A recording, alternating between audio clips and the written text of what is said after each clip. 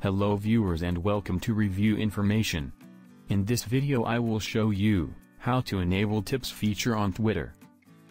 Subscribe to my channel and hit the bell icon to get notified any updates.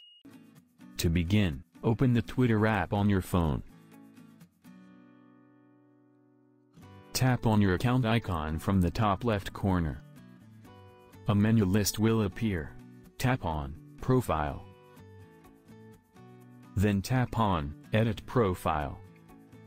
Scroll down and find Tips. Tap on it. Here you will see the option Allow Tips. Simply tap the slider to enable this. Read how this feature works. And tap on I agree. After enabling, more payment options will appear. You can enter your Bitcoin address or Ethereum address or Patreon username. You will need to enter at least one payment option for the tips icon to appear on your Twitter profile.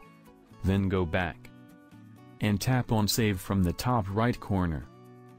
When tips icon will appear on your profile, other user will be able to give you tips using your payment options.